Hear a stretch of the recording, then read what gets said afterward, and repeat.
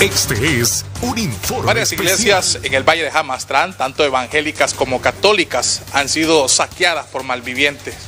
Aquí, la feligresía, igual que el pueblo, se pronuncia al respecto. Y estos templos se escapan de la mano de los delincuentes, quienes hoy los han dejado sin estos aparatos de sonido. En Jutiapa, Valle de Jamastrán, aquí este templo evangélico ayuno y oración fue profanado. El pastor Juan Benito Estrada repudia el hecho. Exactamente, porque cuando iba- un hermano iba pasando para, la, para una colonia rotaria y vio la ventana reventada.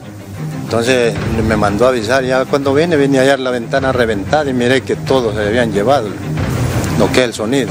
¿Qué fue lo que se llevaron? Vamos específicamente, ¿qué aparato? Eh, se llevaron lo que es una consola Pibi, los dos, eh, las dos columnas grandes, se llevaron una bomba de sacar agua también de pozo, eh, se llevaron otra, otra, otra columna de esas de a 9000 empiras, una, una que, que se usan solas.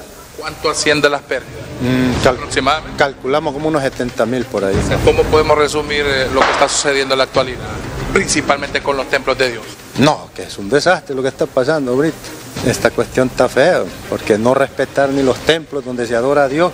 El robo no solo ocurrió en el Valle de Jamastrán, también en la comunidad del Zamorano. Aquí dos templos, católico y de la iglesia evangélica Pentecostés, sustraídos siempre son aparatos de sonido. Su valor asciende a miles de lempiras. También nos ha sucedido, ¿verdad?, que nos han profanado nuestro templo.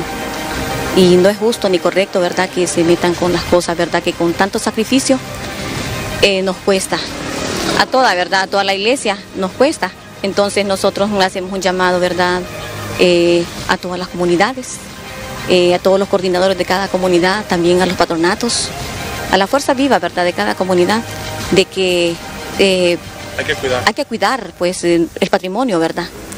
Y que si ven algo sospechoso, ¿verdad? En cada lugar, entonces que nos que contacten con nosotros, que se comuniquen para que tal vez podamos recuperar lo que nos ha perdido. Pues pueden contactarme a mi esposo, pues el coordinador de la liturgia sería el 9880-5540. Pues se llevaron el amplificador junto con todo y parlantes, también este, los que son cables, eh, la tela, ¿verdad? Que usamos los colores litúrgicos nosotros, se llevaron colores el rojo, blanco y verde. También se llevaron casi 16 sillas y también los mm, candelebros que nosotros usamos también. Eh, dejamos un llamado al presidente, al alcalde, a todos los alcaldes que nos ayuden, nos apoyen a mejorar nuestra iglesia, a hacerla nueva, que nos ayuden con un terreno, a hacerla en otro local más cerca de las casas, porque aquí está bien alejado y más policía.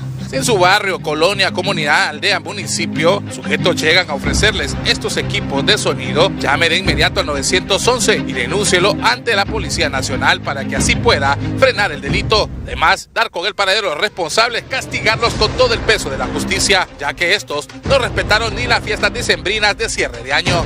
Desde la zona oriental del país, departamento del Paraíso, este es un informe de Ricardo Salcedo, Julio Ruiz, para Hable como la televisión digital. Mucha atención.